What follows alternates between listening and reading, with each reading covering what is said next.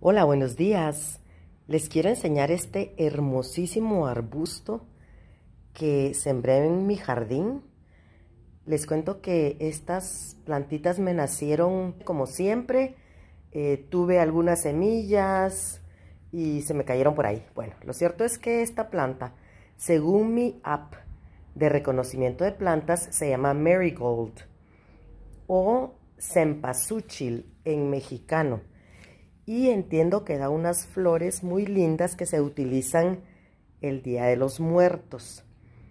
Eh, ahorita estoy emocionada porque ya vienen botoncitos, aunque los veo muy pequeños, pero vamos a ver si estos botoncitos dan la flor lindísima que... Ay, miren, un gran zancudo. ¿Ya vieron?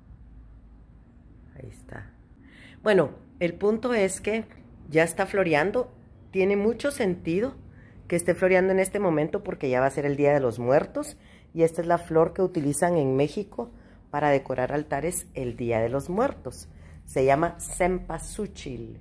Cuando las flores ya estén abriéndose, pues les enseñaré cómo son porque son hermosísimas estas flores. A ver qué variedad me toca.